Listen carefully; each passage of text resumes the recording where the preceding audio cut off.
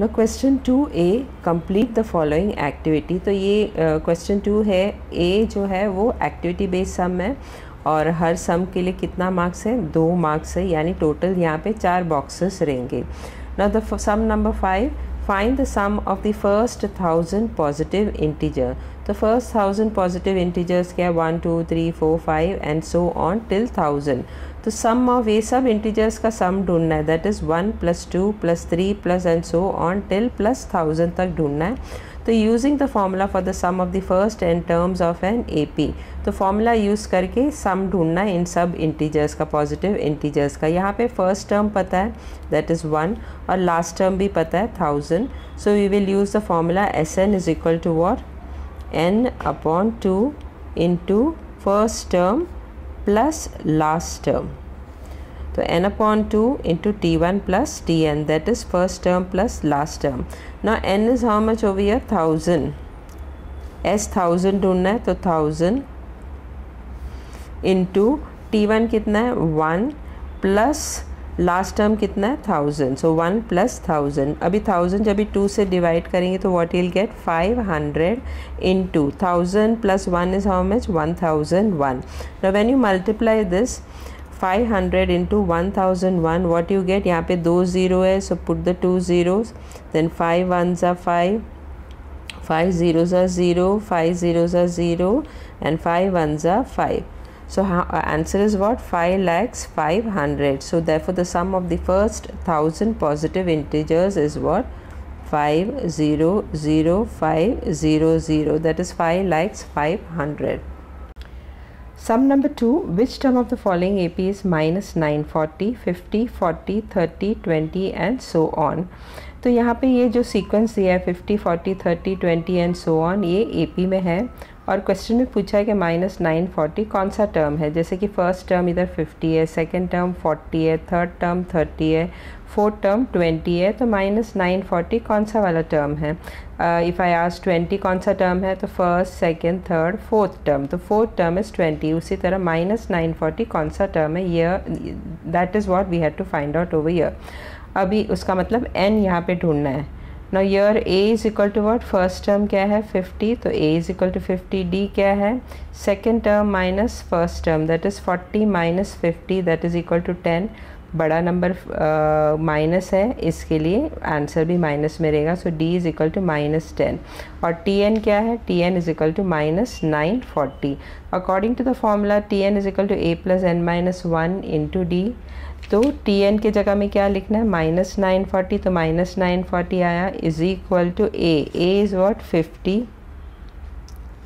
plus n we have to find out n minus one और D क्या है? Minus ten तो minus ten so minus nine forty is equal to fifty ना n minus one को minus ten से multiply करो तो minus ten into n is what minus ten n minus into minus plus one into ten is what ten now minus nine forty is equal to sixty minus ten n अब ये sixty कहाँ से मिला?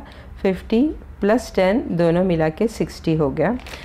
Therefore not take the minus ten minus ten n को left hand side में लेके आओ और माइनस नाइन फोर्टी को राइट हैंड साइड में लेके आओ। तो जब ये minus ten n left hand side में आएगा तो it becomes plus ten n that is equal to sixty और माइनस नाइन फोर्टी जब ये राइट हैंड साइड में आएगा तो it will become plus nine forty therefore 10n is equal to 1000 1000 how we got 1000 60 plus 940 is equal to 1000 अभी 10 को 1000 के नीचे लेके आओ तो n is equal to what? 1000 upon 10 एक ज़ीरो कट हो जाएगा तो n is equal to what hundred तो हंड्रेड टर्म है माइनस नाइन फोर्टी क्वेश्चन में वही पूछा था कि which term which term of the following AP is minus nine forty तो माइनस नाइन फोर्टी कौन सा टर्म है?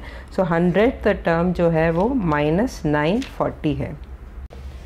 Sum number three for n AP if t one is equal to one तो फ़र्स्ट टर्म ऑलरेडी दिया है that is t one is equal to one उसका मतलब a दिया है a is equal to one और T n last term दिया है t n is equal to how much one forty nine तो इस सम में टी वन यानी फ़र्स्ट टर्म दिया है लास्ट टर्म भी दिया है टी एन और एस एन ढूंढना है। यहाँ पे टी वन क्या है? वन टी एन क्या है? That is last term is one forty nine and s n we have to find out no what is the formula of s n जब भी फ़र्स्ट टर्म और last term दोनों भी पता रहता है तो कौन सा फॉर्मूला यूज़ करना है?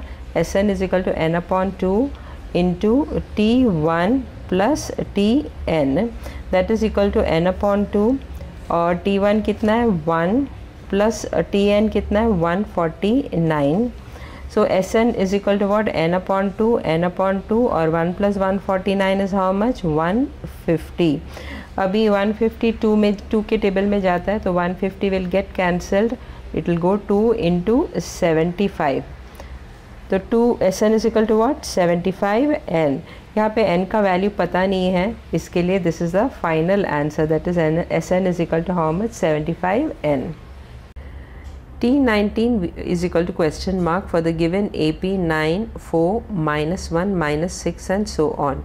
तो T19 ढूंढना है और 9, 4, minus 1, minus 6 and so on ये सब AP में है।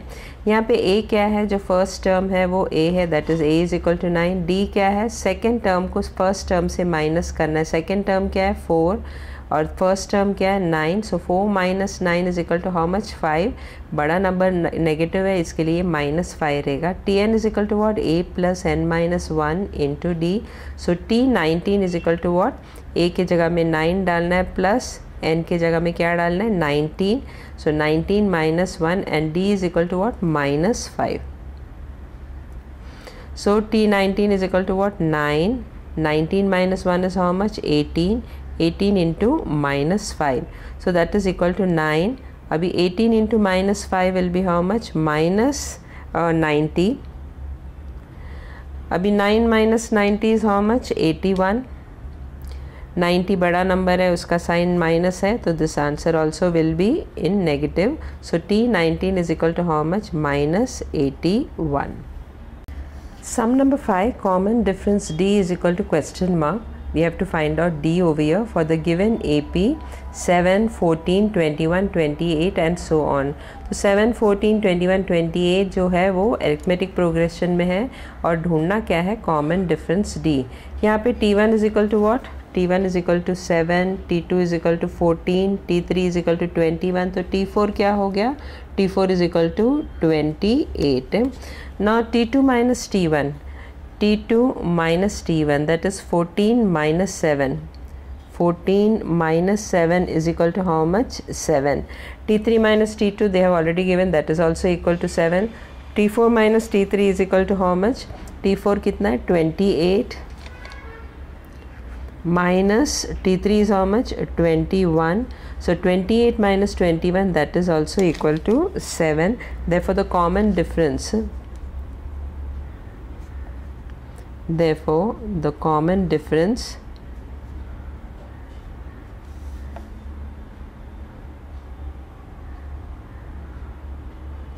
common difference D is equal to what? What we have got the answer as 7. Subjaga T2 minus T1 is also 7, T3 minus T2 is also 7, T4 minus T3 is also 7. The common difference kya hai idhar? D is equal to 7.